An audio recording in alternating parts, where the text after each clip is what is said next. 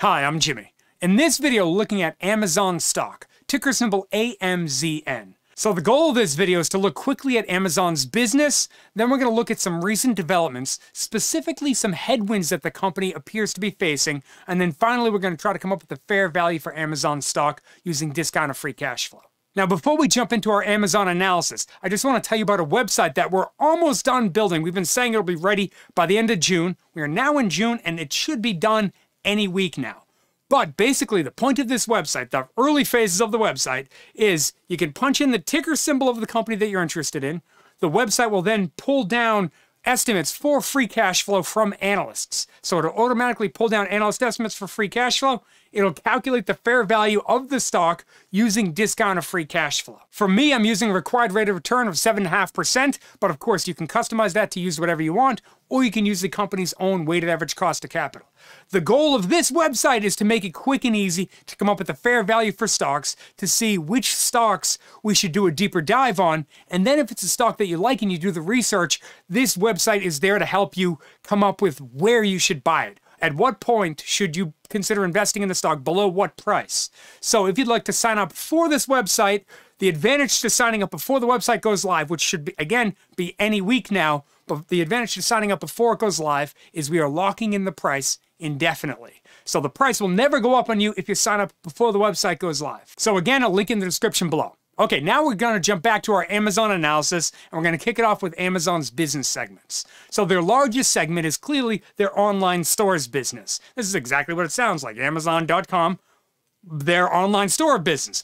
Related to that is their third party seller services, which, if you are a retailer, if you sell products, you can sell products on Amazon and they get a cut of that. That is where that revenue comes from. By the way, this revenue is, this breakdown of percentages is based on the most recent completed year, which is 2021. Okay, then we have AWS. AWS is short for Amazon Web Services. That accounts for about 13% of their overall revenue. Now, this is an important segment because one, this is their fastest growing segment, but also it's the segment that generates the highest margins for them. So in time, this segment's going to get more and more important. I just want to bring that up.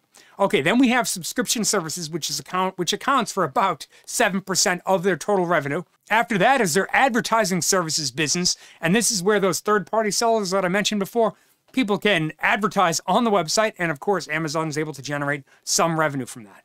Finally, we have their physical stores. Now, of course, their physical stores aren't nearly as prevalent as their online business, but it is a growing part of their business, so I would expect to see this revenue ramp up in coming years as well. Okay, so now let's jump over to some recent developments. So, one of the biggest recent, I think this is one of the most important recent developments for Amazon's business, is their current excess capacity. When we look at this chart here, well, this is a chart of their total square footage, the total square footage that Amazon controls ultimately in their distribution network. And we can see that in the past two years, specifically from 2019 to 2021, mostly due to COVID and the excitement around COVID, or the issues with COVID and the limited capacity that they had, well, Amazon really ramped up their total capacity. The problem with that is that they ultimately went too far with it.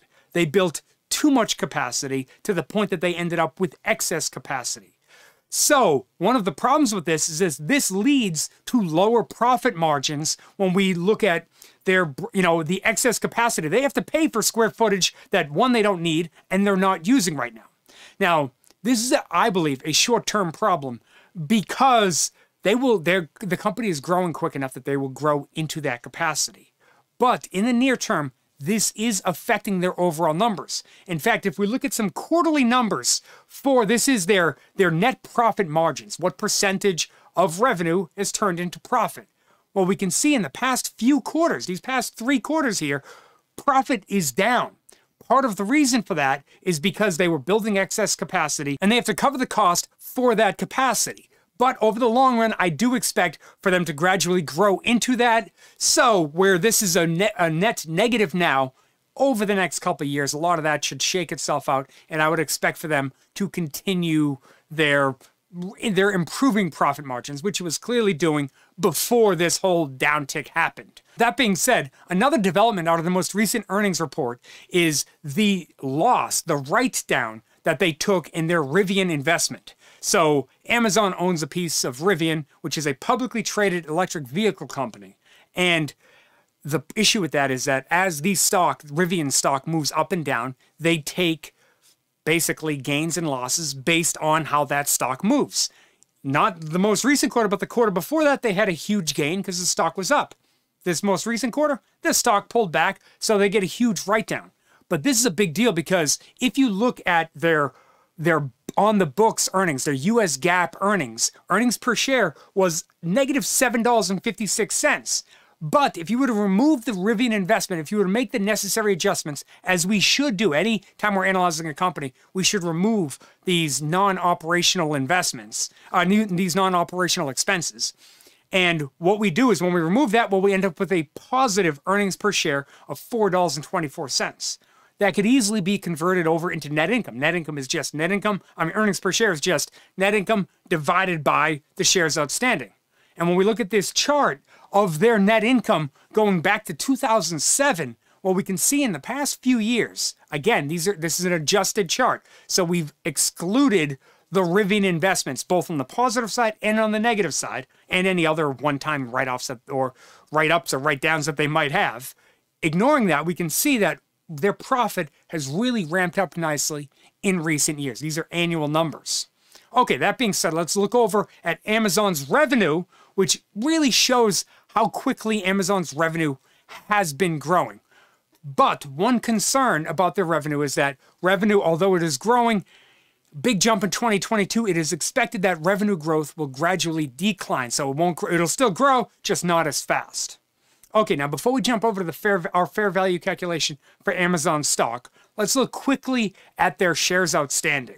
So this is a chart of Amazon's shares outstanding, once again, going back to 2007. So the first thing we may notice is that shares outstanding over the past two decades or so, 15 years, 15, 20 years, whatever it is, have gradually drifted higher. Now, Amazon does have a buyback program and they have done some stock buybacks. But Amazon also has many of their employees, management, people that work in the company get stock options. Oftentimes, those stock options add to the shares outstanding, which is why we would gradually see an increase in the number of shares outstanding that they have. So, this is something for us to keep in the back of our mind, although I'm not sure it totally sways whether or not we would invest in the stock. But it's not like they're out there raising money because they need excess capital. They have the money, they're just paying out some of their employees, mostly in stock options. Okay, now let's switch over to our fair value calculation for Amazon stock using discounted free cash flow. So, the interesting part about Amazon right now is Amazon's about to go through a 20 for 1 stock split. So, we're filming this video on Friday. Friday, the day, the Friday before the stock split, which happens on Monday. Right now, Amazon stock midday is about 2400 bucks per share. So to account for the fact that there's going to be a stock split, basically what we would do is we would take the most recent stock price, divide it by, in this case, divide it by 20, since it's a 20 for 1 stock split. But we would also have to multiply the shares outstanding by 20. That's pretty much the only adjustments that need to be made. Because the fair value of the stock shouldn't change just because there's a stock split. Stock uh, stock split doesn't create any value. It just shifts the way it is. For example, imagine you had a pizza pie, and that pizza pie, instead of being cut into eight slices, it was cut into 10 or 15 or 20 or 30. Well, you're not creating any new food, you're just changing how big each slice is. All this 20 for 1 stock split is doing is divvying up the value of the company into more individual smaller pieces. So what we've done is we've we've adjusted this calculation to account for the post stock split. So if you're watching this video, anytime after the stock split has happened, this is the fair value calculation we're getting. Proportionally, same as what it was before we did the adjustment, but right now we have the fair value, the current stock price at about $121 per share. The fair value is up at about $113 per share. So it looks like, as of right now, Amazon stock appears to be slightly overvalued. Now, what this calculation does is it takes analyst estimates for free cash flow and we calculated additional years. So we went on a total of 10 additional years. We had the computer calculate a 10 additional years.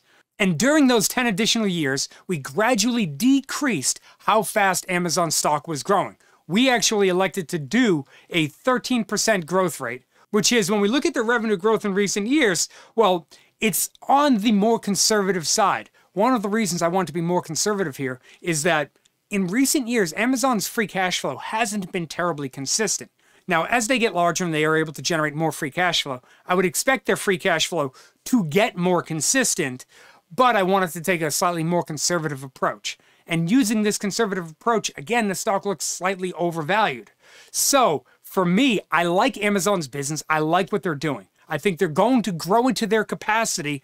And over the long run, I think Amazon's business will do very well.